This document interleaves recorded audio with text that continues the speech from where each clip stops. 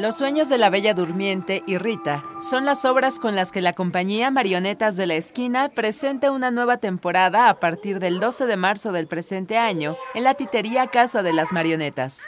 Realizado por la dramaturga Amaranta Leiva y bajo la dirección de la titiritera Lourdes Pérez Gay, Rita es una puesta en escena que además de ser estrenada en este espacio, es un tema visto desde la perspectiva de los niños.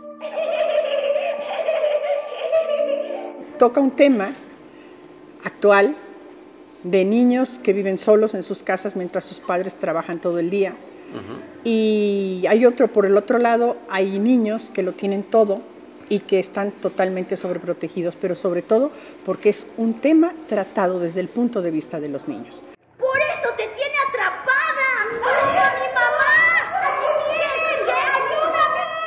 Mencionó que este espectáculo teatral puede servir como un lazo para unir más a los padres con sus hijos.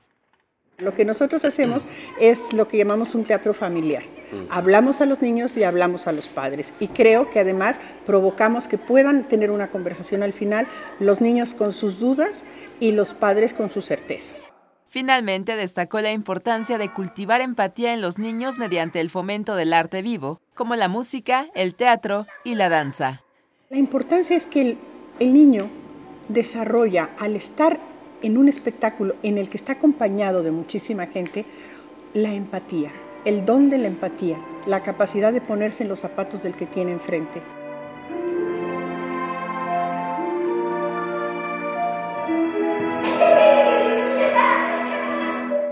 Con información de Juan Carlos Castellanos y Eric Gómez e imágenes de Raúl Monroy.